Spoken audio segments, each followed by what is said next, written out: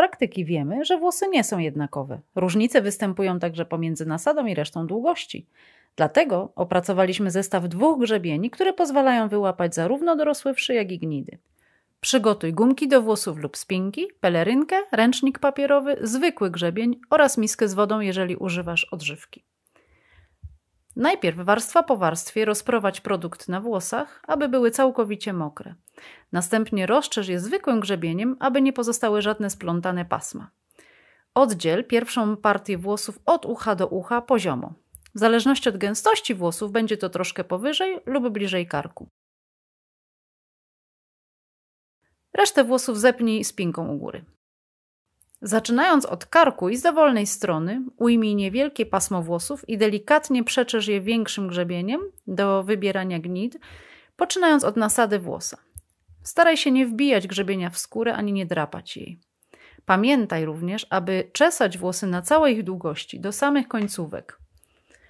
Jeżeli używasz serum, nie mocz grzebienia w wodzie, wycieraj go każdorazowo w papierowy ręcznik. Serum Nit Not zabija dorosłe wszy i gnidy.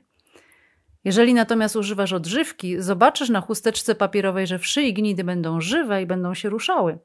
W tym wypadku należy przepłukiwać grzebień, aby na powrót nie zainfekować włosów. Warstwa po warstwie, nie omijając żadnej partii, wyczesuj dokładnie pasożyty większym grzebieniem. Do momentu, aż pasemko będzie całkowicie czyste.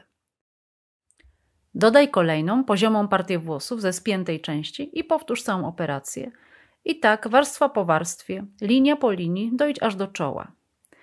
We włosach nie będzie już wówczas wesz i gnit. Nie zapomnij o dokładnym przeczesywaniu na całej długości włosów, aby nic nie zostało na końcówkach. Jeżeli trafisz na mocno przylepione gnidy, użyj drugiego, gęstszego i bardziej precyzyjnego grzebienia.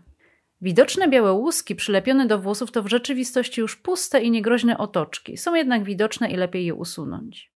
Choć wszy rozprzestrzeniają się na całej głowie, to największe skupiska zwykle znajdują się za uszami, w okolicy karku i na szczycie głowy. Aby usunąć oporne gnidy z okolicy za uszami, ujmij niewielkie pasmo włosów i przeczesz je dokładnie gęstszym i precyzyjniejszym grzebieniem. Powtórz także od dołu. Złożone jajeczka są płynne. Wszy budują więc otoczkę, czyli ochronny cylinder na włosie, widoczny na zdjęciu. Jajeczko nie jest więc bezpośrednio na włosie, lecz w otoczce.